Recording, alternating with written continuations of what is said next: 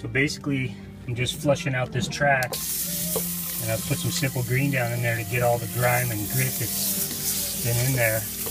I've done this before, I started videoing a little bit more, but I'm still flushing out some stuff. And I'll fill this track up full of water and I'm actually giving it some good pressure underneath there.